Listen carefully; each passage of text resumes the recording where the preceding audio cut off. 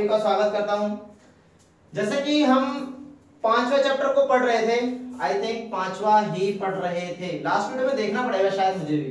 अरे नहीं नहीं नहीं, पांचवा ही पढ़ रहे थे। तो पांचवा चैप्टर का नाम क्या था? समकालीन विश्व में दक्षिण एशिया। और लास्ट वीडियो सेशन के अंदर हमने पाकिस्तान के बारे में सब कुछ देखा। क्या कह रहे हो? पाकिस्तान के बारे में? हाँ हाँ सब कुछ देखा है। अगर आपने वॉच नहीं किया है तो आप जाइए, हमारे चैनल पे आपको डिस्क्रिप्शन पे लिंक मिल जाएगा। वहाँ से आप देख सकते हो कि पाकिस्तान की क्या कहानी थी। क्योंकि पाकिस्तान नहीं पढ़ा तो क्या पढ़ा? है ना?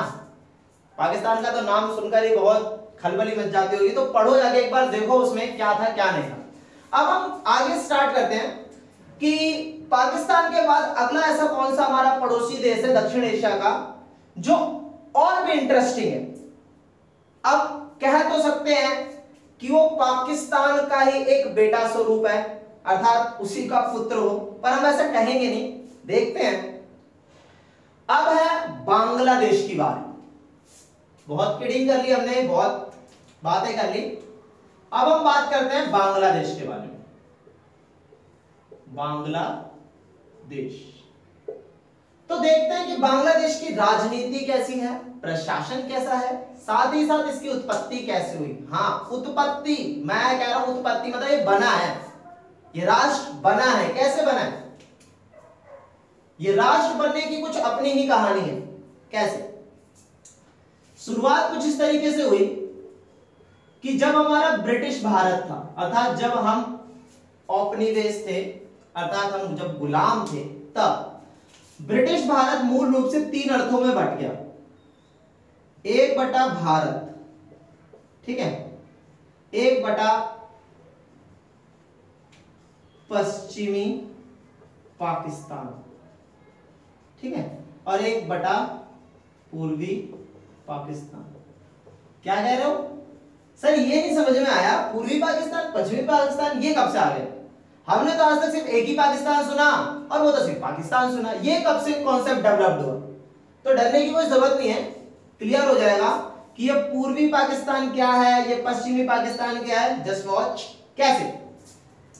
हुआ क्या? बस इतनी सी बात हुई कि जब भारत का विभाजन हुआ तो पाकिस्तान में मोहम्मद अली जिन्ना ने एक डिमांड रखी थी डिमांड ये रखी थी कि जहाँ जहाँ पे मुस्लिम के सदस्य बहुत ज़्यादा, मुस्लिम की जनसंख्या ज़्यादा है, वहाँ पे पाकिस्तान का गठन कर। दो तो भारत के अंदर दो ऐसे क्षेत्र पहचाने गए, जहाँ पे मुस्लिमों की संख्या बहुत ज़्यादा है एक क्षेत्र पहचाना गया पश्चिम में तो एक क्षेत्र पहचाना गया पूर्व में।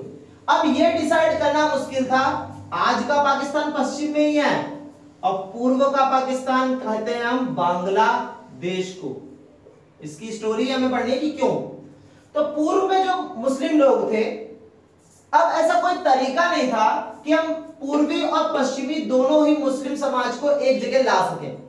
तो उस समय डिसाइड यह किया गया कि दिशा के आधार पर दो पाकिस्तानों का गठन कर दिया जाए। इस तरीके से एक पश्चिमी पाकिस्तान कहलाया और एक पूर्वी पाकिस्तान कहलाया। जब पाकिस्तान के दो हिस्से हो गए तो स्थिति कुछ इस तरह बनी कि सारे जो प्रशासनिक तंत्र था मतलब राजनीतिक शासन को चलाने के लिए जितनी भी चीज़ें थी अब राजनीतिक शासन को चलाने के लिए कौन कौन सी चीज़ें हैं? जैसे संसद, पार्टी, ठीक है? अतिरिक्त जो भी चीज़ें हैं, वे सारी की सारी चीज़ें कहाँ पर स्थापित की गई? वेस्ट में स्थापित की पश्चिम में स्थापित की गई। और पूर्व में कुछ नहीं किया। क्लियर? अर्थात पाकिस्तान का सारा जो शासन होता था, वो कहाँ से चलता था? ध्यान से देखो, कहाँ से चलता था? पश्चिम की तरफ़ से चलता था। पूर्व में क्या दिक्कत थी? पूर्व वाले जो लोग थे, पूर्व वाले जो लोग थे, इधर समझा रहा हूँ आपको, नहीं नहीं, इधर नहीं, इधर ही करता हूँ कंटिन्यूस करता हूँ। पूर्व वाले जो लोग थे, वे लोग मूलतः बांग्ला बोलते थे। क्या बोलते थे? बांग्ला।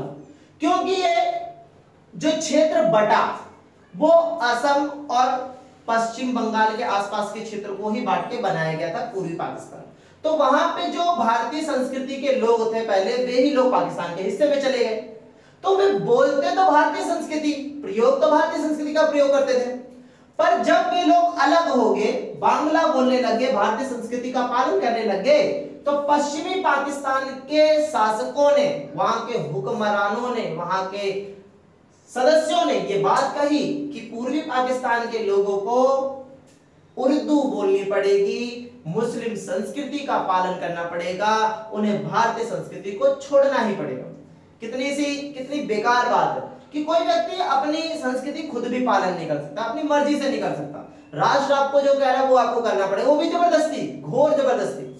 तो पश्चिमी पाकिस्तान के शासकों ने पूर्वी पाकिस्तान के लोगों को ज़बरदस्ती उनकी संस्कृति को बदलने का प्रयास किया। लोगों ने इस बात का क्या किया? विरोध किया कि आप हमारी संस्कृति को ज़बरदस्ती क्यों बदल रहे हो? तो हमेशा से ऐसे चलते हुए आए कभी तो हमें हमारी संस्कृति बदलने की कोशिश नहीं करी। तो हम आज क्यों बदल दें हम तो वैसे के वैसे ही रहेंगे।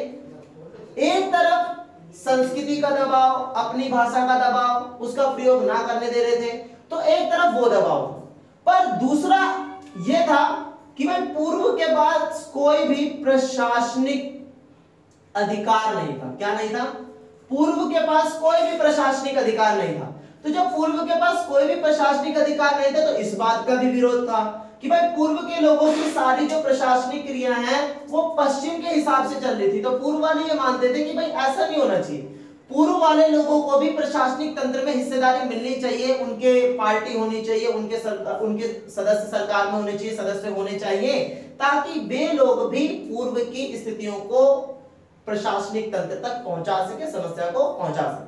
बट ये पॉसिबल नहीं था, क्योंकि पूर्व के पास तो प्रशासनिक तंत्र तक पहुँचाने के लिए कुछ था ही नहीं, कोई पार्टी ही नहीं थी, कोई संगठन ही नहीं था जो उनकी बातों को पश्चिमी पाकिस्तान की संसद में जाकर बोल सके या फिर वहाँ पे जाके अपनी बातों को उठा सके। एकदम से पता ही नहीं, एकदम से ही एक व्यक्ति उभर कर आते इसी बीच, और उनका नाम होता है शेख मुजी रहमान ठीक है? शेख मुजीबुर रहमान उनका नाम होता है।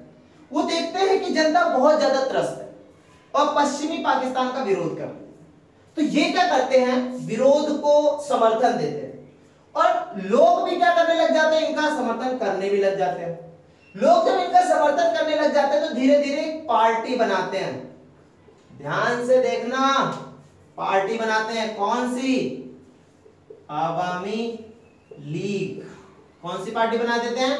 आवामी लीग। देखा ना सबने? हाँ ध्यान से।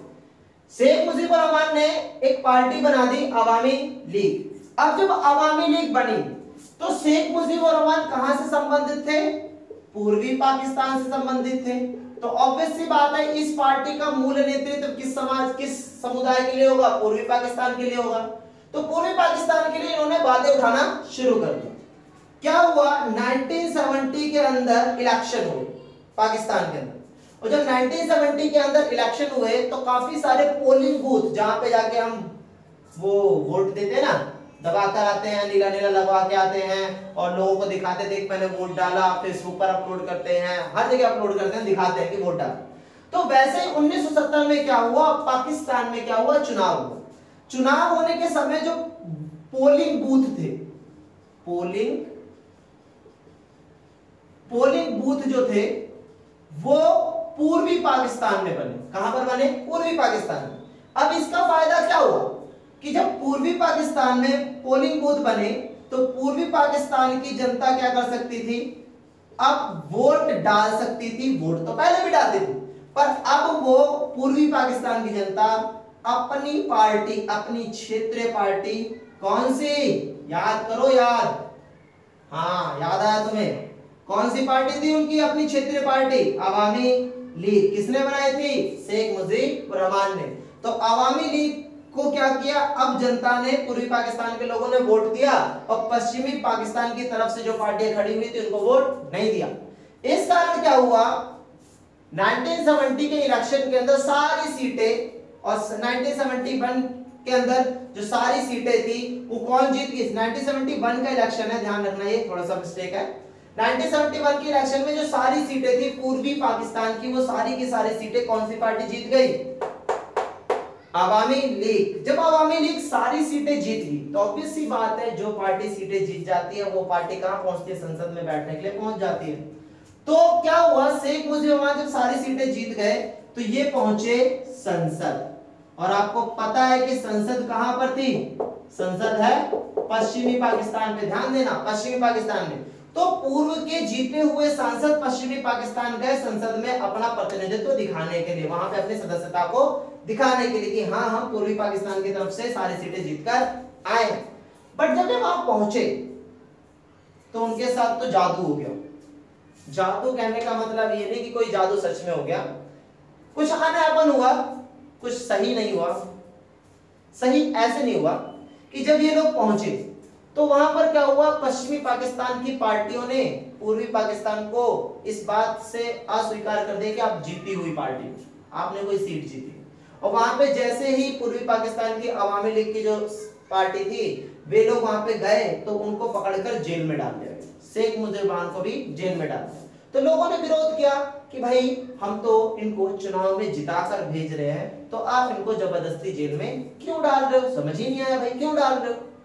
तो ये विरोध पहले छोटे स्तर पे था, फिर पूर्वी पाकिस्तान में भी होने लग गया। बड़े स्तर पर कि भाई उन्होंने पहली बार अपनी किसी पार्टी को अपनी बातें पहुँचाने के लिए वहाँ तक पहुँचाया। और पश्चिमी पाकिस्तान क्या कर रहा है? उनकी जीते हुए सदस्यों को पकड़कर जेल में बंद कर रहा है, मार रहा है, पीट रहा है।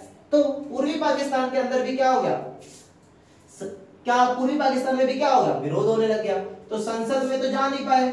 और क्या शुरू हो गया? विरोध प्रदर्शन बहुत बड़े स्तर पर शुरू हो गए जब बहुत बड़े स्तर पर विरोध प्रदर्शन की शुरुआत हो गई तो बहुत बड़े स्तर पर विरोध प्रदर्शन शुरुआत हुई। अब क्या हुआ, जब विरोध प्रदर्शन हुए तो जो पश्चिमी पाकिस्तान था, पश्चिमी पाकिस्तान था, पश्चिमी पाकिस्तान ने अपनी सेना भेज दी। क्या भेज दी? अपनी सेना भेज दी। कहाँ पर? पूर्वी पाकिस्तान में, लगभग एक लाख सैनिक के आसपास। तो पूर्वी पाकिस्तान में अपनी सेना भेज दी और कोशिश की कि भाई, ये सेना क्या कर दे? सारे विरोध को दबा दे।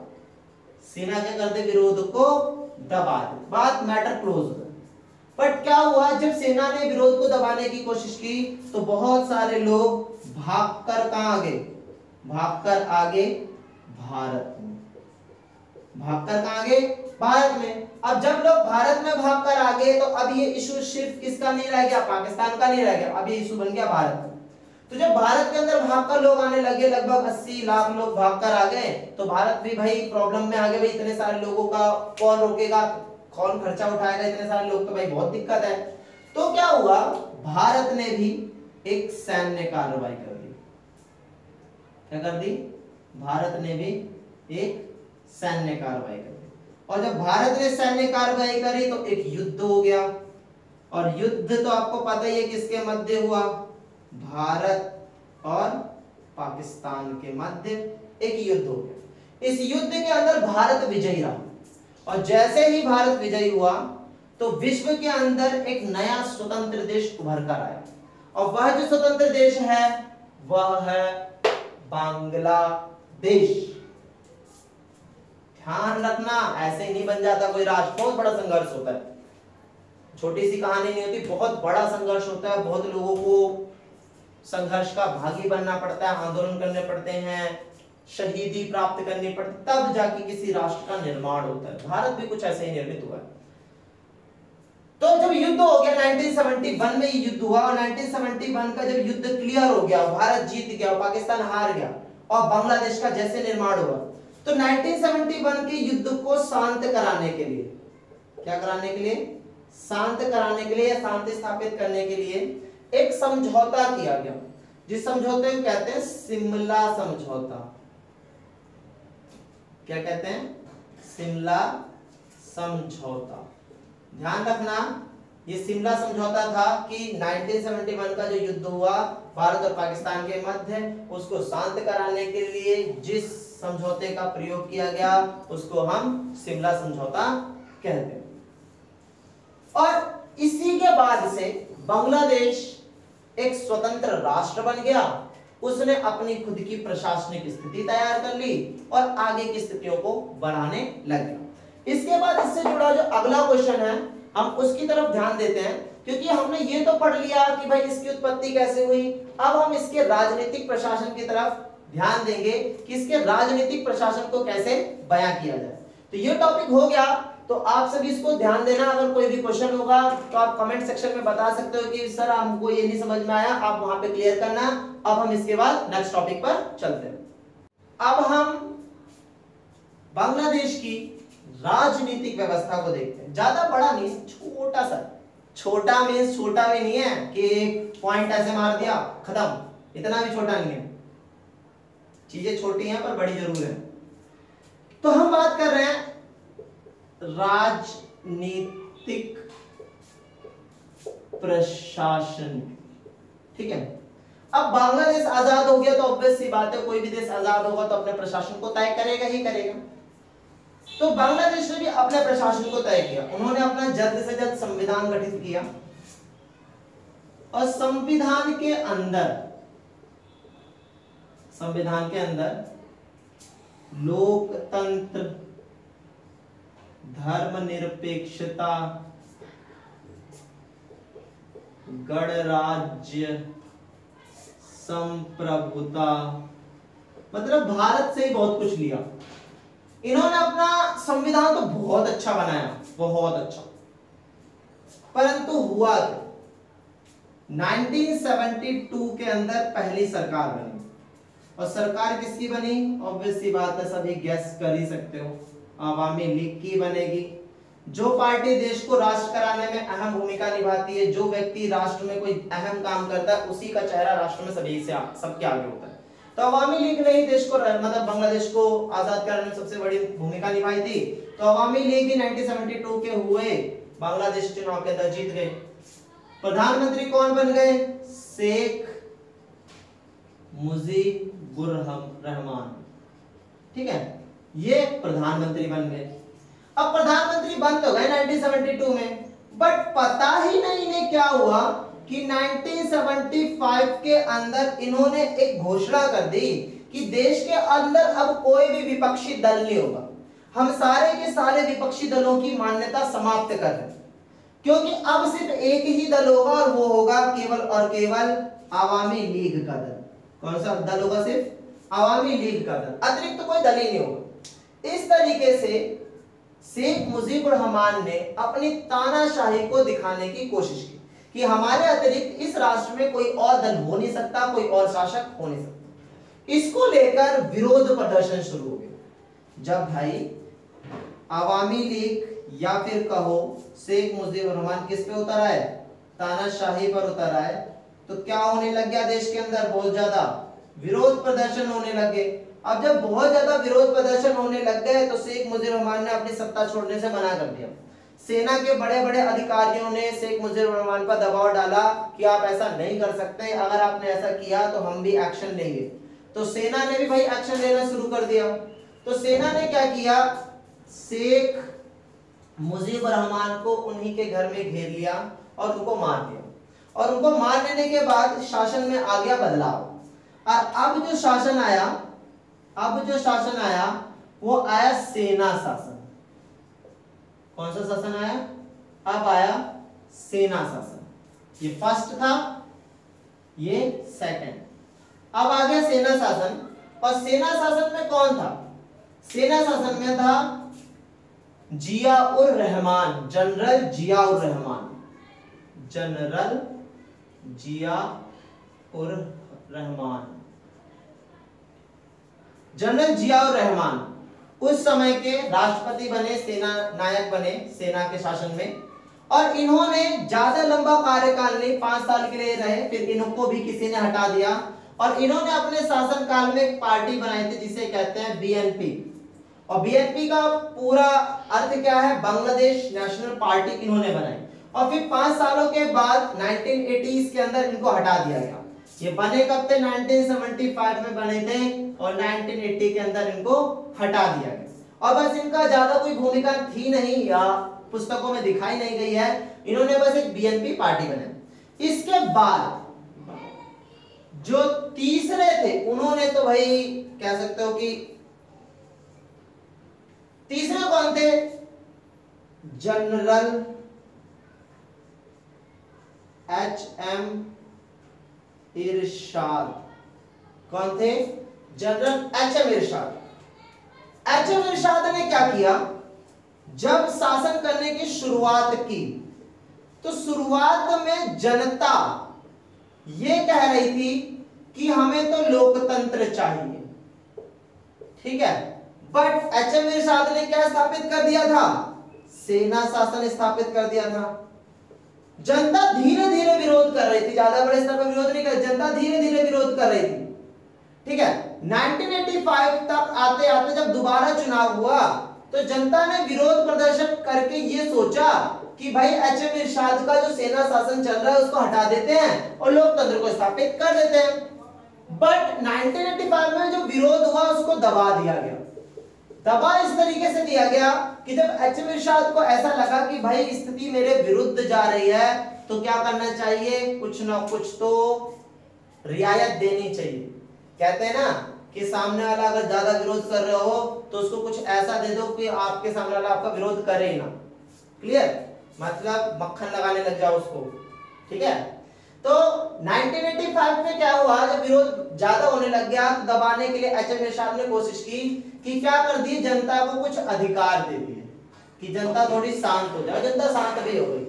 बट क्या हुआ? जब 1990 में फिर से चुनाव की बारी आई तो अब जनता ने एक बात ये घोषित कर दी कि हमें अतिरिक्त तो कुछ और नहीं चाहिए। हमें सिर्फ़ एक ही चीज़ चाहिए। हमें चाहिए सिर्फ़ लोकतंत्र।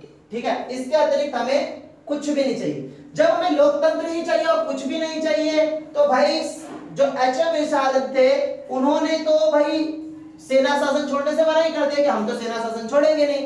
तो भाई, ये विरोध प्रदर्शन अब लोकतंत्र के लिए बहुत बड़ा हो गया। अब जो विरोध है, वो क्या हो गया? बहुत बड़ा हो गया। इतना बड़ा हो गया विरोध प्रदर्शन कि एच एम इरशाद को अपनी गद्दी छोड़नी ही पड़ी और उसके बाद क्या स्थापित हो गया? उसके बाद स्थापित हो गया लोकतंत्र और वर्तमान समय में बांग्लादेश में क्या स्थापित है? लोकतंत्र स्थापित है। और लोकतंत्र किसके नेतृत्व में है? आवामी लीग के नेतृत्व में है। और आवामी लीग में शासन कौन कर रही है? हसना मत कोई भी। नहीं तो आ जाएगा तुम्हें पसीना। क्योंकि नाम है इनका शेख हसीना। ठीक है? तो इनका नाम है शेख हसीना और 1990 से लेकर अब तक 2020 के अंदर भी टिल नाउ। 1991 से ये बनी हुई है और टिल नाउ 2020 में भी ये आज भी कायम है मतलब ये आज भी वहाँ की प्रधानमंत्री बनी हुई है। ये डॉट में चल रहा है इनका टाइम। आज भी बनी है। तो आप देख सकते हो कि बांग्लादेश की राजनीतिक व्यवस्था स्थिर नहीं थी, कभी लोकतंत्र तो कभी सेना शासन, पर फाइनली वहाँ पे आज लोकतंत्र स्थापित है और एक बहुत लंबे समय के दौर से चल रहा है। और वहाँ की पहली जो महिला प्रधानमंत्री बनी है, वो कौन बनी है? शेख हसीना। और वर्तमान में भी वही वहाँ की क्या है? प्रधानमंत्री। इस तरीके से हमने बांग्लादेश की राजनीतिक व्यवस्था, बांग्लादेश की उत्पत्ति का पूरा अध्ययन किया। और काफ़ी इंटरेस्टिंग सेशन भी रहा कि बांग्लादेश के बारे में हमें बहुत कुछ जानने को मिला। बहुत सी ऐसी बातें जो आपने कभी सुनी भी ना हो वो भी आपको जानने को लिए मिला। और एक थॉट तो सबसे बड़ा कि भाई शेख हसीना इतनी बड़ी वहाँ की लीडर है इतने सालों से बैठी हुई है, अभी तक उनको कोई भी हटा नहीं सका। तो इस तरीके से हमने अपने पड़ोसी देश में एक देश पढ़ा। अब इसके बाद हम अगले टॉपिक की तरफ़ बढ़ते हैं और अगला देश देखते हैं कि कौन सा है। अभी हमने बांग्लादेश की उत्पत्ति और समस्त राजनीतिक व्यवस्था का अध्ययन कर लिया अब हम दक्षिण एशिया के अंदर एक नए देश का अध्ययन करेंगे। नए देश का नाम है नेपाल। ठीक है? अभी तो नेपाल के बारे में कुछ आप मैम्स भी पढ़ रहे होगे एफबी पर भी देख रहे हो कुछ अजीब ही चीज़ चल रही है कि जो वहाँ के प्रधानमंत्री हैं, ओली, वो तो कुछ अजीब अजीब से कथन दे रहे हैं। पता ही नहीं ये सही है या गलत, पर फिर भी लोग इसकी बहुत किडिंग कर रहे हैं। फिर भी हम बढ़ते हैं आगे, हमें उस पर ज़्यादा ध्यान देना नहीं है। देखते हैं कि नेपाल का राजनीतिक इतिहास क्या है। नेपाल का राजनीतिक इतिहास क्या है, कैसा है, क्यों है? ठीक है, हम देखते हैं। क्या हुआ? नेपाल हमेशा से नेपाल हमेशा से ही क्या था? एक राजतंत्र था। मतलब पूरे दक्षिण एशिया में नेपाल ही एक ऐसा देश है जो सबसे लंबे समय तक राजतंत्र में रहा है। ठीक है? सबसे ज़्यादा लंबे समय तक। 1990 तक जब भी कभी राजतंत्र को उखाड़ फेंकने के लिए विरोध प्रदर्शन हुआ करते थे तो 1990 से पहले 1990 से पहले जब भी कभी विरोध प्रदर्शन हुआ करते थे तो इन विरोध को दबाने के लिए राजा किसका इस्तेमाल करता था? सेना का इस्तेमाल करता था और सारे विरोध प्रदर्शनों को दबा दिया करता था। ठीक है? बट हुआ क्या? 1990 के बाद 1990 के बाद विरोध प्रदर्शन इतने ज़्यादा बढ़ गए, विरोध प्रदर्शन इतने ज़्यादा बढ़ गए कि अब राजा को यह समझ में आ गया कि अब इनको दबाया नहीं जा सकता। तो जब सेना के ज़रिए दबाया नहीं जा सकता तो कोई और तरीका था। और तरीका यह था कि विरोध प्रदर्शन करने वालों की बातों को सुना जाए और उनकी मांगों को कुछ हद तक माना जाए। तो विरोध प्रदर्शन करने के कारण कुछ मांगों को मांगों को मान लिया गया। क्या कर लिया गया? कुछ मांगों को मान लिया गया। जैसे, पहली मांग ये थी कि अब संवैधानिक राजतंत्र होगा। क्या होगा? संवैधानिक राजतंत्र होगा। और दूसरी बात यह स्वीकार ली कि अब संसद का गठन होगा। मतलब अब अकेले राजा शासन नहीं करेगा नेपाल में। नेपाल के अंदर राजा तो होगा ही होगा, पर अब क्या होगा? संविधान भी होगा। साथ ही साथ अकेला राजा निर्णय नहीं लेगा, अब वहाँ पे निर्णय लेने के लिए संसद भी कार्य करेगी। इस तरीके से राजा ने जनता को दो चीज़ें देकर क्या कर दिया? 1990 के बाद जो विरोध प्रदर्शन हो रहा था, उसको क्या कर दिया? बिल्कुल शांत कर दिया। बट फिर भी स्थिति कुछ सुधरी नहीं मतलब जैसा दिख रहा वैसा हुआ नहीं सब कुछ। धीरे धीरे समय बीता और 2002 के अंदर, कब? 2002 के अंदर नेपाल के अंदर कुछ समुदाय रहते हैं जिसको माओवादी कहते हैं। क्या कहते हैं जिसको?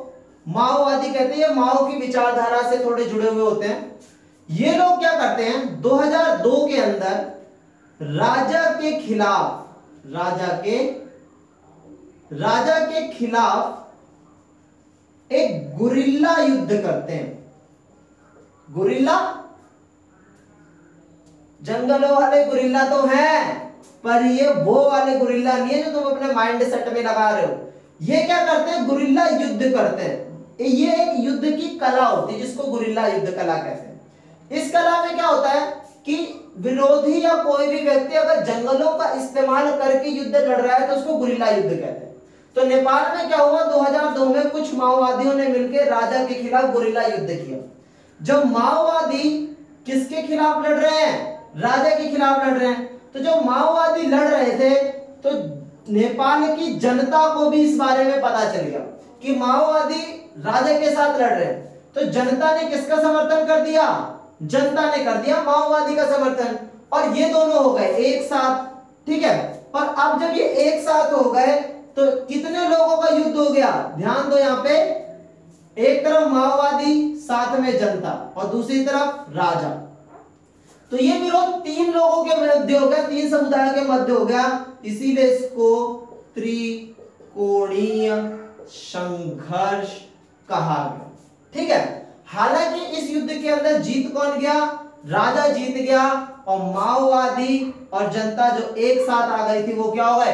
हार गए क्योंकि राजा के पास क्या थी? राजा के पास थी सेना। राजा के पास सेना थी, इसलिए उसने हरा दिया। जब राजा जीत गए युद्ध तो राजा ने एक बात कही। राजा ने एक बात ये कही कि अगर आपको सब कुछ देने के बाद, संविधान भी देने के बाद, संसद भी देने के बाद, अगर आप विरोध प्रदर्शन ही करना चाहते हो, देख रहे हो ना, कि सब कुछ राजा ने दे दिया, पर फिर भी ये विरोध को रोक नहीं रहे, हिंसा को रोक नहीं रहे तो राजा ने ये कह दिया कि जब आपको विरोध प्रदर्शन नहीं करना है, सब कुछ करना है तो मैंने जो आपको संविधान दिया है, संसद दिया उसका तो कोई मतलब ही नहीं रह जाता। तो 2002 के युद्ध के परिणाम स्वरूप संघर्ष के परिणाम स्वरूप जो संसद थी, जो संसद थी, उसको क्या कर दिया गया? समाप्त कर दिया गया। मतलब ये कह दिया गया कि अगर आप युद्ध ही करते रहोगे तो फिर हम जो आपके लिए कार्य कर, राजा ने कह दिया, अगर आप युद्ध ही करते रहोगे तो हम जो आपके लिए कार्य कर रहे हैं, वो तो बेकार है। इसीलिए उसको समाप्त कर देना ही सही होगा। तो जो बनी संसद थी 1990 के प्रदर्शनों के बाद उसको समाप्त कर दिया गया। अब ऐसा नहीं है कि विरोध खत्म हो गया।